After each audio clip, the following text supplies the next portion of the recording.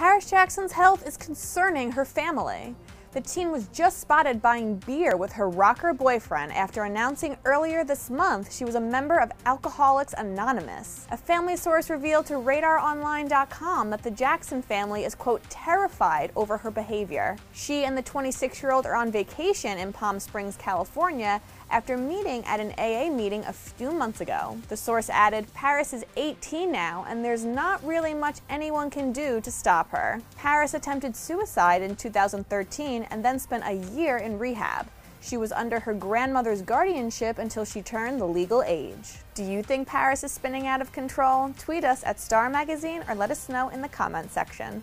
I'm Jessica Napoli, and for the best celebrity and entertainment news, check out starmagazine.com.